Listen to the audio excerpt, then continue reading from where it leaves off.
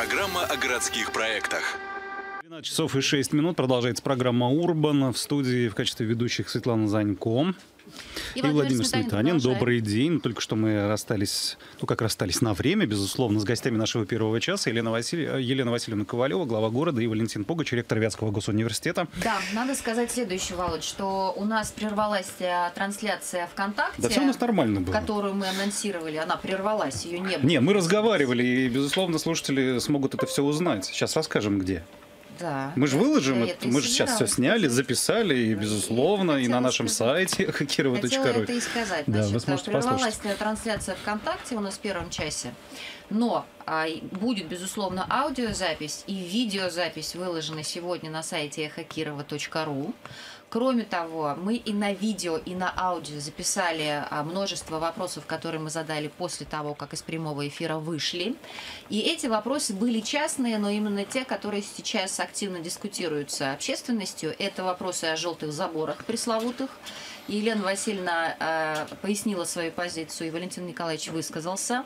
Дальше мы спрашивали, а как они расставили бы по приоритетам движущиеся объекты в Кирове, общественный транспорт, пешеходов, велосипедистов, автотранспорт, едущий и стоящий. Они тоже об этом нам рассказали. Ну и спросили мы у Елены Васильевны, вот сейчас новости только что были, Ольга Львовна зачитывала по поводу цвета новых автобусов, оранжевых автобусов.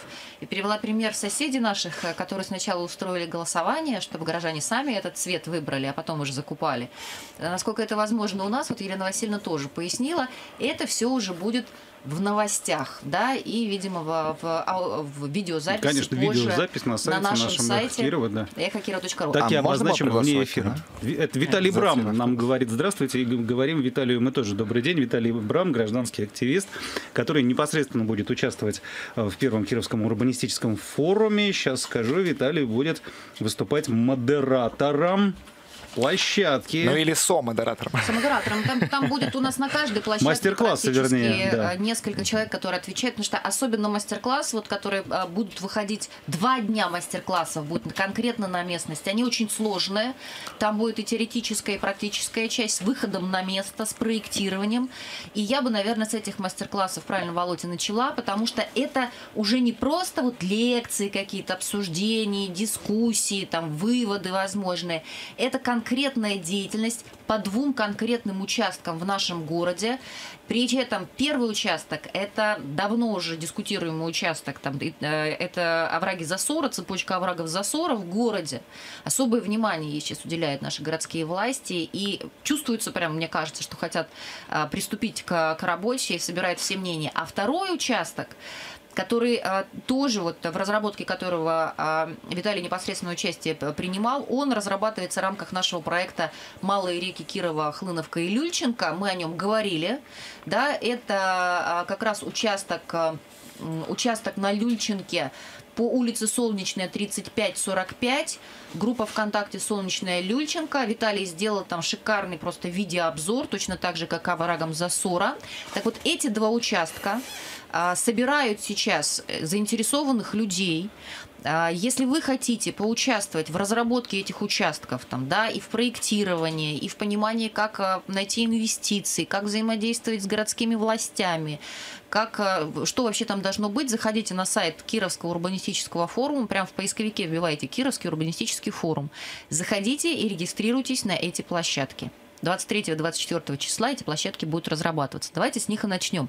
Виталий, давай начнем с солнечной люнчики. Еще раз, пожалуйста, несколько слов скажи. Ты, ты там модератором Это... не будешь, там будет Костя Константин Кропанев, да, да. Но равно ты знаешь, ты в теме. А, замечательное пространство на юго-западе, можно сказать, в самом начале реки Люльченко.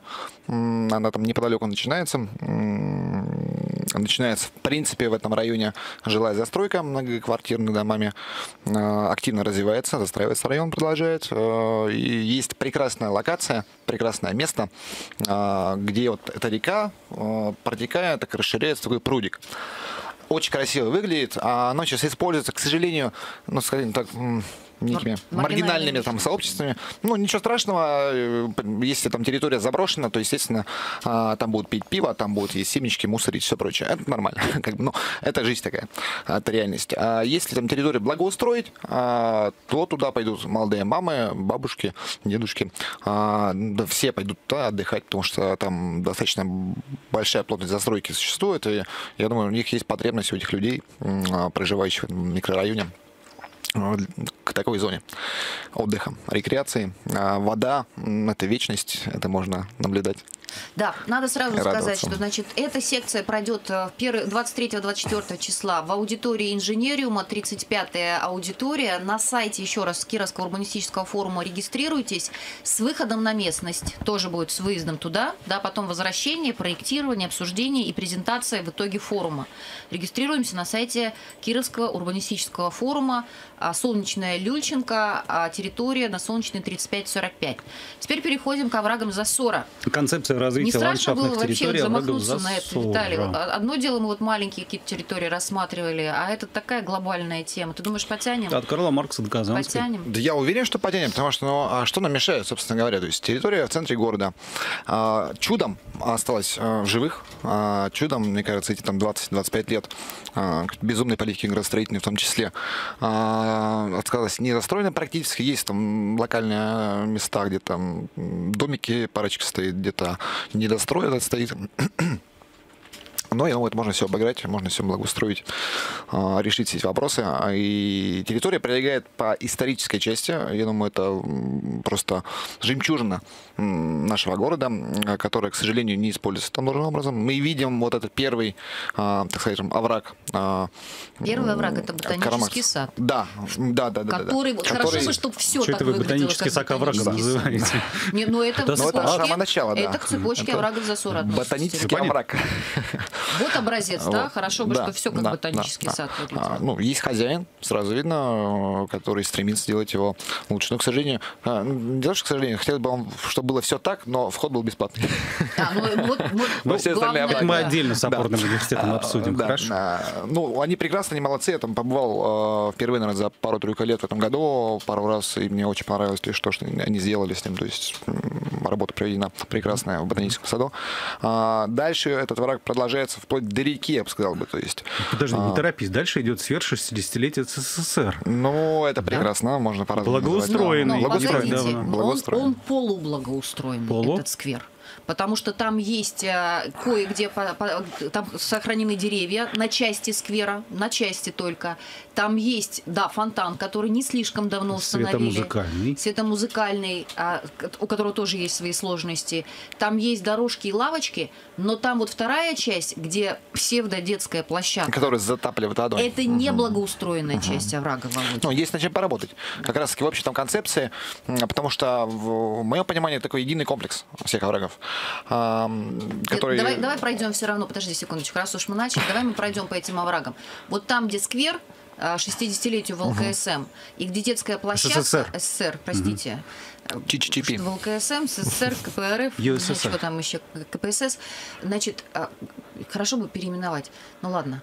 А, значит, Коммунисты сейчас не слышали. Я не буду, да, не буду, это не, не предмет дискуссии сейчас. Значит, вот там, где детская площадка, я надеюсь, просто было предложение от нашей же активистской группы, от Киров меняется, чтобы это была первая деревянная а, современная площадка, вписанная в ландшафт, по примеру тех площадок, которые делятся в парках и скверах а, Казани Столицы. и Москвы, угу. и европейских городов. Мы обращались с этим предложением в городскую администрацию и в правительство Кировской области.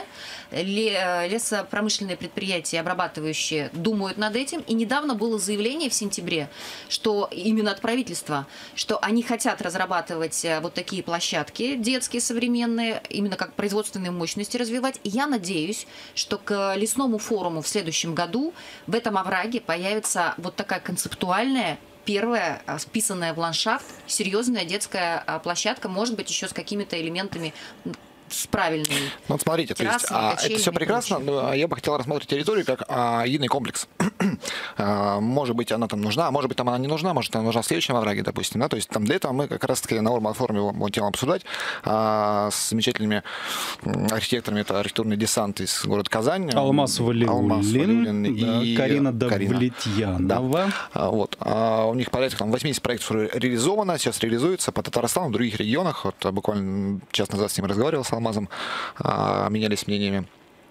А, поэтому я думаю, что в процессе вот этой работы, которая начнется на, на Урбан форуме, а, с чистого листа, то есть мы слышали сейчас, а, что там 4 года назад разрабатывались проекты, там 5 лет назад проекты разрабатывались по застройке на территории, кто-то хотел там школы построить, кто-то хотел еще построить, кто-то даже построил, как удалось там, да. Я думаю, нужно э, рассматривать как единый комплекс, то есть единый там некий бренд там территории. Причем самое интересное, ну, какие аргументы, в принципе, у нас в городе дефицит Э, таких рекреационных, э, качественных прогулочных пространств, длинных. Здесь она есть, достаточно длинная. От Карла Маркса э, до, грубо говоря, там Трифона монастыря. До реки. До, до реки. Yeah. Причем самое интересное, на самом деле, на что бы я делал ставку, если мы идем по всем оврагам благоустроенно, предположим, да, то есть прекрасно уже, мы не должны опираться в реку, мы пойдем налево, по улице Пристанской, предположим, благоустроенной, и зайдемся на набережную Грина. Угу. Дойдем до Старого моста. Это порядка трех километров. То есть а, вот это было прекрасно. Пойдем направо, допустим, да, от оврага, и уйдем на Ижовское Пойдем озеро. на другой водное а, Ижовское это очень... родниковый комплекс с выходом да. дальнейшим возможным аж на солнечный да, берег. на солнечный берег. То есть, а, представьте, там 5-6 там, километров прогулочных зон. 17. 17, да. Ну. Вот если брать набережную если, если брать всю, набережную всю солнечный берег, то 17 плюс ну, да. овраги еще больше получается. Овраги же туда-обратно еще. Туда-обратно, да, можно туда, туда-сюда ходить. Да. Это прекрасно, потому что в городе сейчас ходить негде. То есть есть там набережная Грина, прекрасная, безусловно. А, можно на ней еще поработать, но сейчас уже там хорошо, но ты идешь, идешь и упираешься.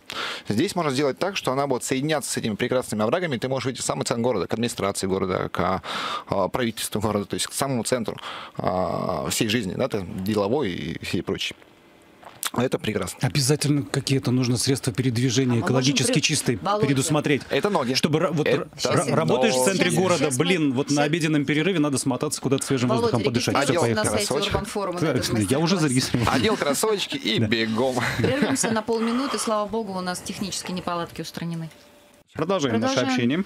А у нас есть возможность включить наших спикеров, которых мы... Слава богу, потому есть. что давайте их потихоньку... Мы будем продолжать общение с Виталием, угу. но и будем также включать э, спикеров, которые приедут на э, Urban Forum, э, которых Володя вчера с ними поговорил и записал для нас. Ну, с кого начнем? Ну, с кого? У нас есть Евгений Ширчков, архитектор из Саранска, Дмитрий Смирнов, консультант Минстроя Нет, России начнем? по приоритетному проекту формирования комфортной городской среды. Ну вот Александр Егоров по транспорту хотите сразу послушать? Да, давайте. Ну давайте, давайте. Александра Егорова послушаем, заместитель начальника отдела по оптимизации движения общественного транспорта в государственном унитарном предприятии Мосгортранс. Понятно, да, уровень? Давайте послушаем. Я еду с э, выделенными полосами и платными парковками. Это два современных инструмента, которые шагают по всей стране и во многих городах уже применяются за последние пять лет. Хочу рассказать, как они используются, в чем а, нюансы, отличия, в чем города преуспели, где какие проблемы, как власти могут э, применить вот этот вот опыт наработки других городов у себя в Кирове, то есть в том числе организовать и платную парковку, и где-то рассмотреть возможность создания приоритетного проекта для общественного транспорта. Ну и в целом пообщаться с другими экспертами, поучаствовать э, в прочих сессиях тоже будет интересно. Вообще для города это очень серьезное событие. Такие форумы проводятся очень мало где сейчас по всей России. Ну, точнее, они проводятся много где, если следить за этим. А вот конкретно в каких-то отдельных городах, там не миллионниках, а именно 100-500 тысяч жителей такого диапазона, э, это очень редкое явление относительно. Поэтому, конечно же, форум сколыхнет общественность, сколыхнет, э, вынудит администрацию предпринимать какие-то современные там действия, э, внедрять новые решения, чтобы развивать транспорт и благоустраивать общественные пространства. То есть, на мой взгляд, форум будет э, хорошим таким толчком, двигателем для дальнейшего прогресса и развития города. Очень важная история – это взаимодействие э, всех сторон, участников, это и администрации, и горожан, и в том числе СМИ, освещение всей этой истории. Очень важно именно понимание всех процессов, которые происходят в городе, как, что нужно делать, чтобы идти дальше, чтобы развиваться. Когда горожане это понимают, они гораздо лучше и привычнее принимают какие-то новые решения, новаторства. То есть не выступают э, против, там, например, платных парковок, как сейчас происходит в Воронеже, потому что автомобилисты просто буснуют, очень недовольны этим решением. Вот. Горожан нужно тоже готовить, нужно повышать общую грамотность всех людей в транспортных вопросах. Сейчас как раз транспортная наука развивается, и форум будет как раз для этого отправной точкой. Александр Егоров, замначальника отдела по оптимизации движения общественного транспорта ГУП Мосгортранс. Ну вот это к вопросу, который ты задавала вне эфира гостям нашего первого часа, да, Елене Ковалевой и Валентину Пугачу. Иерархия. Что вы поставите на вершину общественного транспорта? Автомобилисты, пешеходы. Человек едет к нам рассказывать о выделенках и платных парковках. Соответственно, автомобилисты уже не на вершине этой иерархии, да? Ну, Москва давно определилась. Да. Я же приводила этот пример, и нам тут в Урбане уже озвучили, что на вершине стоит в Москве сейчас общественный транспорт. Дальше пешеход, дальше велосипед, дальше машина машины. Елена Васильевна, кстати говоря, Виталию сейчас скажу. А, не скажу, у нас же в новостях это будет секрет, да? В новостях она об этом расскажет. Ну, скажи как, завуалированно. Как, как, нет, не надо завуалированно. Не буду рассказывать. Заинтриговали. Слушайте новости, да, и потом программу на сайте смотрите. Слушайте, что Елена Васильевна сказала по поводу желтых заборов, безопасности движения и иерархии объектов, движущихся в городе. Кто на первом месте? Там пешеход, общественный транспорт или автомобилист. А мы пока а, между вот подключением наших экспертов продолжаем секции по а, по оврагам засора. Расскажи, пожалуйста, это, это впервые никто не понимает на самом деле. Как это я могу прийти, вот да, и поучаствовать там в проектировании оврагов засора. Это разве мое дело? Я же там не архитектор, не бизнесмен. Чего, зачем это вообще все? Слушайте, ну, во-первых, а, ты человек, который живет в городе, как и все прочие. А, это сейчас к, к слушателям, к слушателям обращается есть, да, Приходите на форум, заходите на сайт а, Урбан форума, а, регистрируйтесь, приходите. Это очень важно, потому что будет очень много, на самом деле, секций. Если неинтересно враги засора, может быть, интересно будет там транспорт или те же там желтые заборы, да? А, или генплан города. Или да? генплан города. То есть, наверное, впервые такая концентрация довольно качественных специалистов, приезжает компетентных людей, которые с опытом, с практикой, а, которые готовы поделиться. Это очень важно, потому что мы-то видим, что в городе не достаточно компетенции на, на многих уровнях, да, то есть, ну, ввиду там исторической сложившейся ситуации. А, поэтому это ну, очень важно. А здесь, ну, почему а, все важны? Ну, потому что люди-то а, ведь видят, что они хотят там видеть, то есть увидеть. Если, Свет, помнишь, как-то по рекам там начинали такую историю, то есть там, ну, собирали, то есть что бы мы там хотели видеть в разных там функциональной части, в какой-то там условно а, в духовной, ментальной, то есть, ну, чтобы было удобно и хотелось пользоваться этой инфраструктурой, потому что у нас зачастую прорабатывается функционал какой-то, но не прорабатывается вот эта там тонкая линия, которая вызывает желание пользоваться, прийти на территорию, воспользоваться и отдохнуть там, да, то есть Которая здесь... отличает нас от животных. А, вот. которые вечно рыскают в поисках пищи и так далее. Ну, ну, многие люди тоже так же живут, но как бы... А, пищи и денег. Подождите, вернемся к этой истории. Да. Почему любой горожанин может прийти на вот э, эту секцию по оврагам засора, и что он может там, во-первых, какую пользу принести, а потом для себя что извлечь? он может, во-первых, высказать свое мнение, что бы он там хотел видеть. Потому что ну, а, ну, психотипы китайцев у всех же примерно одинаковые. Там разные слои населения, там разные взгляды, но они примерно у многих схожи, у разных групп. Поэтому было бы, наверное, важным услышать это мнение вот а, именно пользователей, да, то есть кто будет пользоваться, люди же, то есть, да, не кто-то там, там сидящий в кабинетах где-то, да, который решает, вот пользоваться, а люди, а люди будут пользоваться такое, ну, а, некое соучаствующее проектирование, да, то есть какой-то вот, ну, подход, он важен, он сейчас э, в мире наращивает там, внедрение, в принципе, когда люди, ну, не имея должных там качеств, может, компетенций для какой-то профессиональной работы, но они а, понимают через призму, ну, здравого разума хотя бы. Это нормально. Как нам сказали Это на нормально. общественной палате сейчас при формировании комиссии, зачем вам комиссия по урбанистике? Разве есть у нас специалисты по урбанистике? Не надо нам комиссию вот по урбанистике. Так вот. А, а, мы, можно... а мы ее сделали, да. А можно сейчас задам такой провокационный главный вопрос. Виталий, как ты считаешь? А вот среднестатистический житель нашего города, там, годами, можно быть, десятилетиями, вот, морально и личностно убитый этой грязью, этой точечной застройкой, о которой ты часто говоришь, какими-то другими-то проблемами вот и, и так далее и тому подобное. Вот он сейчас способен мыслить такими категориями, предлагать, видеть что-то, видеть что-то шире своего двора грязного, лестничной, лестничной площадки загаженной и так далее и тому подобное. Смотрите, способны ли люди на это? Этот на человек погряз в своей рутине, то, наверное, нет. Но когда ты его вытаскиваешь, ну, как бы сказали всякие бизнес-тренеры, из зоны комфорта нужно вытащить человека, да, то есть ну, в какой-то там вот этой грязи и все прочее, это что создалась там некая зона комфорта, что сформировалась некая привычка, да, то есть что всегда здесь было, есть и вроде как бы и будет, да. А мы говорим, что, слушайте, мы хотим сделать так, чтобы такого больше, ну, не было, да, то есть и мы его там вытаскиваем человека на, а, в ту среду, где говорят про некое вот это образ будущего, причем ближайшее будущего. А, ну, причем и у человека то, что... просыпается то да. внутреннее ощущение и те внутренние мысли, которые у него в голове все равно есть. Он их все равно в голове проворачивает. Любой человек думает о хорошем.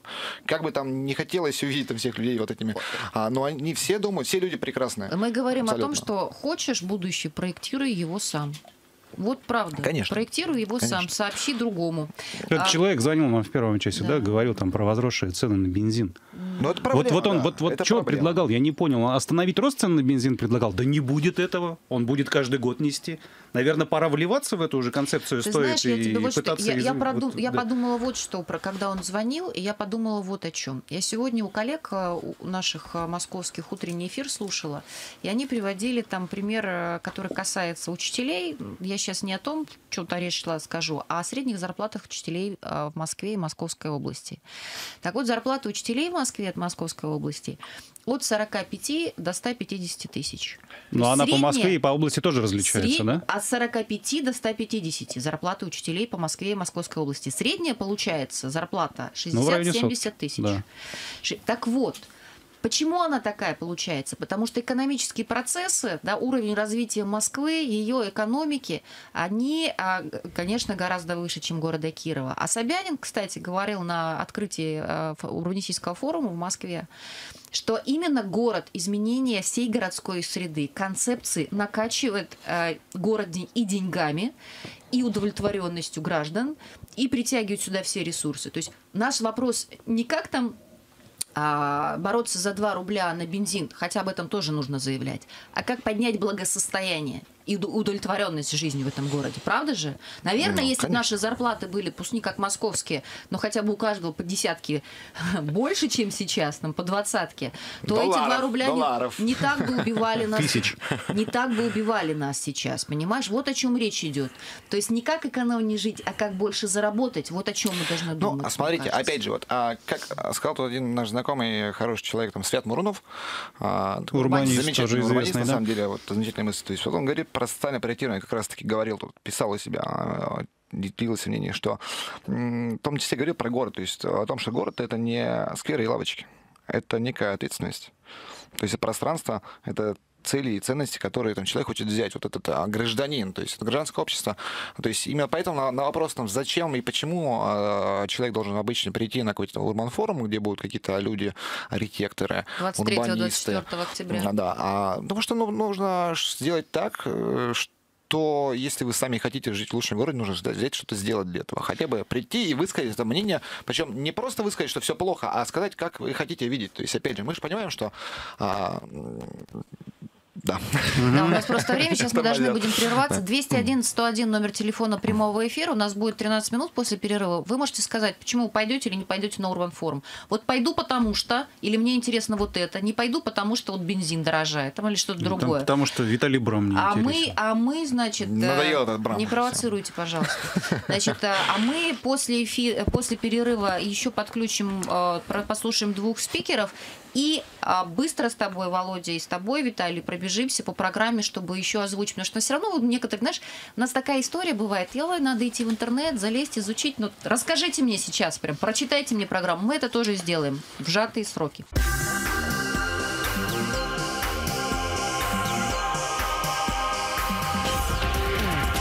Урбан.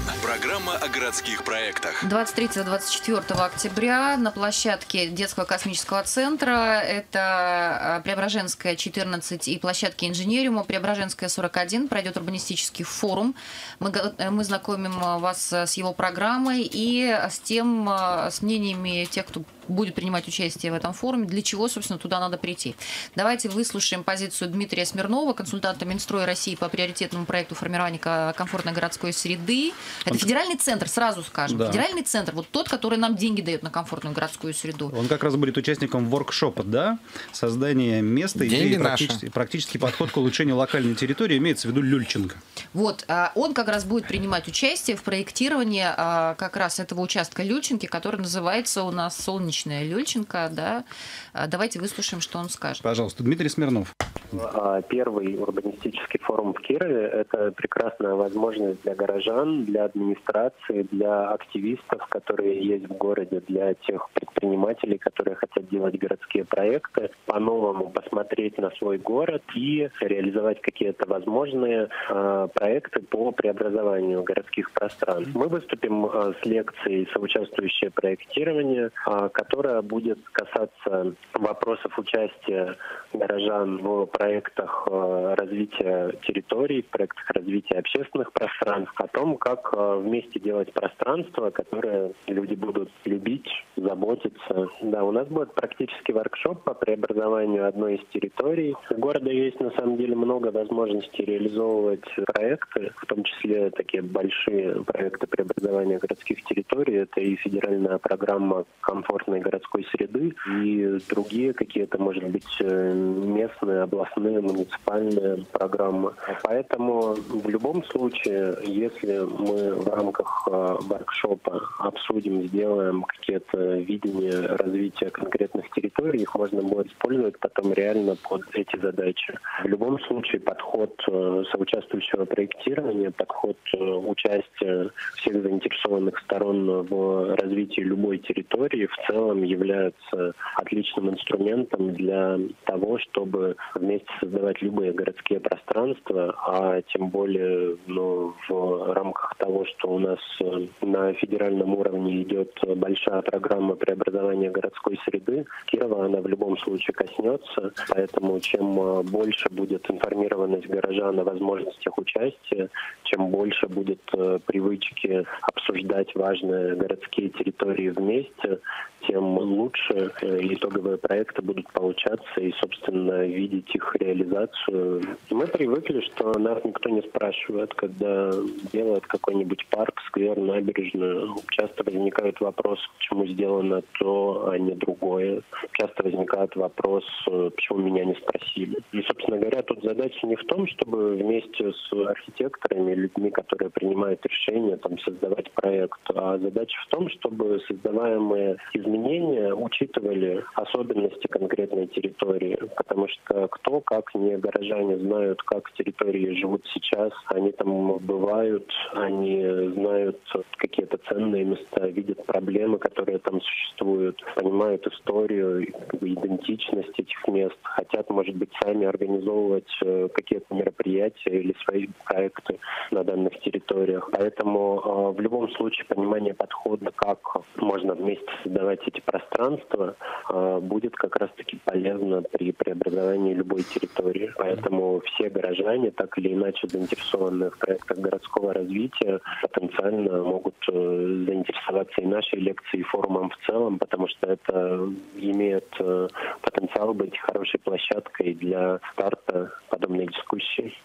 Разговорчивый. Э, да, Дмитрий Смирнов. Я думаю, что я вижу, что, что Дмитрий Смирнов провел уже столько воркшопов, что, что, что да, э, э, говорит и говорит и говорит. Я надеюсь, что наши горожане его услышали. Еще раз, это консультант Минстроя России по приоритетному проекту формирования комфортной городской среды. Дмитрий едет с мастер-классом, так скажем, да, да. С, с конкретным практическим классом по преобразованию вот участка Люльчинки. Там, там будет теория, практика, планировка, проектирование и прочее. Заходите на сайт Кировского урбанистического форума и регистрируйтесь на эту а, секцию. Ну, смотрите, а, у нас осталось времени, чтобы а, познакомить с программой целиком, прямо вот пробежаться по ней. А у меня еще был вопрос, сказать, извините, кто с ним, не успею кто задать. Едет. Да, Нет, давай без вопросов все-таки. Мы обещали программу, должны ну, людям ну, выдать.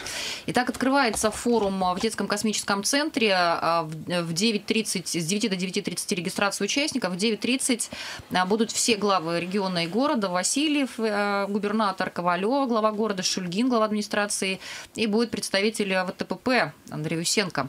Валентин Пугач э, откроет это все дело. 10, 1, с 10 до 11 открывающая пресс-конференция и лекция. Там Олег Шапира, который же приезжал э, к нам в город архите... Э, член попечительского совета Института медиа, архитектуры дизайна «Стрелка», основатель архитектурного бюро «Ваухаус», приедет э, с э, лекцией с... и дискуссией «Роль архитектора. Почему свобода творческие мысли полезна городам». А, про архитекторов мы говорим очень много, особенно большая претензия у нас на, на протяжении десятилетия к тому, что у нас якобы нет главного архитектора или как будто бы он есть. И, и наличие его решает проблемы архитектуры в городе или нет. Вот хорошая история для, этого, для этой лекции. С 11.30 лекция с презентацией будет э, от Сергея э, Заусаева, главного градостроителя Сибни градостроительства Новосибирск. Вот, товарищи, в 11.30 в 23, 23 числа да. в космическом центре приедет человек, который проектирует нам генплан. Задайте все ему вопросы, пожалуйста, после того, как он свою презентацию сделает. С 12 часов там же, в космическом центре, 23-го, панельная дискуссия, которую модерирует Толя Курбатов. А, среди спикеров Надежда Снигирева, партнер проектной группы 8, архитектор и специалист по соучаствующему проектированию, член много каких там международных ассоциаций, эксперт программы. В общем, Татарстан, товарищи, передовой регион значит, она будет говорить как раз про соучаствующее проектирование. Это очень важно. Надо включаться и надо понимать, как грамотно это делать. После обеда в 14 часов будет лекция Виталия Павлова, генерального директора Института развития транспортных систем из Рязани. То есть у нас не только московские будут специалисты по транспорту, да, и по транспортным угу. системам, но и региональные. Это тоже очень важно. Новая мобильность, общественный транспорт, почему он нужен городам. Игорь Багин будет модерировать. Еще будет там же Илья Петушков, транспортный эксперт международного консалтинговое бюро в области транспортного планирования. Э, и тоже будет про транспорт говорить. Такая длинная будет история с 14 до 15.30. Это очень важно. Про транспорт очень важно. После кофе-брейка 16 часов будем говорить про улицы. Опять же, создаем безопасную, удобную среду. Аркадий Гершман, интервью которого вы можете прочитать на сайте своего Кировского. А, транспортный аналитик, урбанист, автор проекта «Город для людей» и «Вело Москва». Он будет говорить о том, как изменился подход к проектированию улиц за последние десятилетия, в чем отличие улицы от дороги, почему провозная особая способность улиц – это не только машины, но еще и пешеходы, и велосипеды и прочее. То есть большой такой блок по транспорту транспорту и движению. Круглый стол с 17 часов, а, где а, университет будет давать свои практики. Вот как раз итоги, да, Володя, о которых говорил Валентин в Николаевич. В части с 11 часов, части, да. да. Ветгоу челлендж. Ветгоу челлендж. Дальше... А, Это значит, уже Учебный это корпус, уже инженериум, да. да. У инженериума с утра будет как раз Виталий Брам и Алмаз Валиулин, и начнется история про, про овраги. Значит, на все эти секции нужно регистрироваться, напоминаю, на сайте Кировского урбанистического Бесплатная форума. регистрация, Бесплатная. еще раз подчеркиваем. Второй да. день, 24 число. А, нам задают такие вопросы. Ты что ты смеешься? Тебе да. что ли не задают? А тебе не задают вопрос, сколько тебе заплатили? Нет?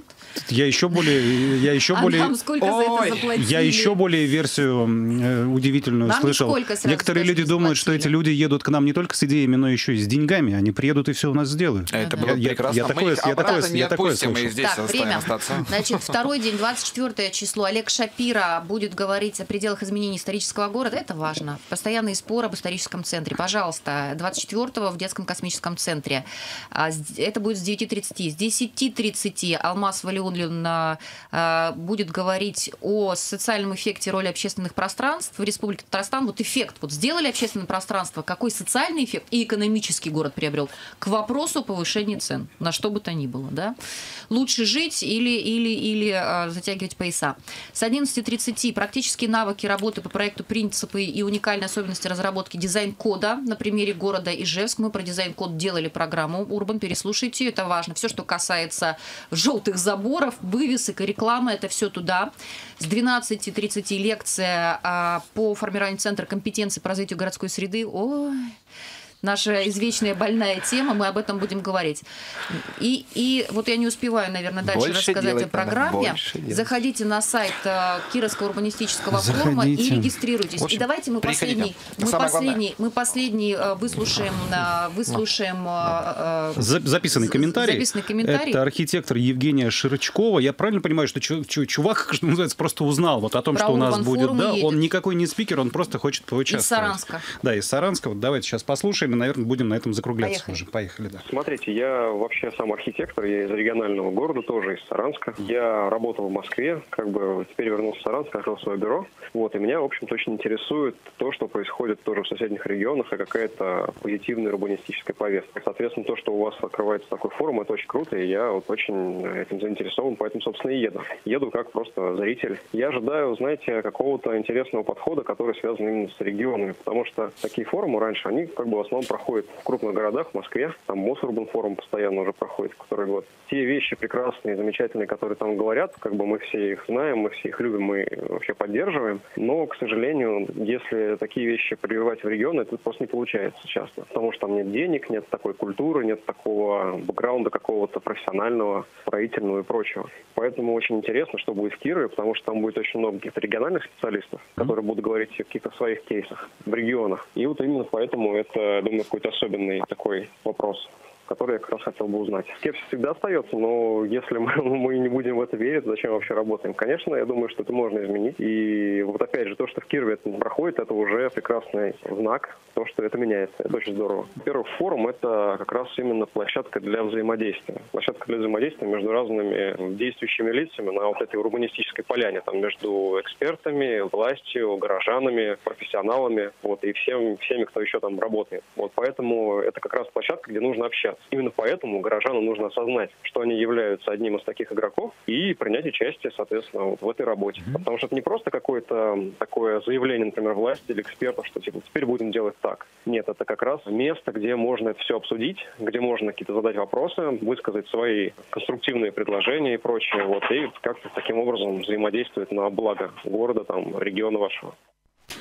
Вдохновил. Вот, ну, собственно, Виталий, да? То, о чем мы говорили. Нужно участвовать, потому что, опять же, а, а, социальное проектирование, э, со, соучаствующее там, да, то есть а, можно потихоньку прийти к социальному проектированию, о чем говорит там Свет, то, что когда никто там навязывает что-то, иди, приходи, иди и приди, ты должен, нет, чтобы люди сами поняли, осознали, что мы должны сделать, накидали план, концепцию проекта, и ее пытались внедрить, взять эти под свои права, ну, где-то взять и сделать, а, использовать там те механизмы, которые имеются. Вот самое главное. Поэтому приходите обязательно, а, пишите, общайтесь. А, регистрируйтесь, регистрируйтесь на сайте Кировского урбанистического форума и участвуйте в развитии форума. нашего города. Урбан подошел к концу. Виталий Бранц, Светлана да Занько, Владимир Сметанин. Всего доброго, до свидания.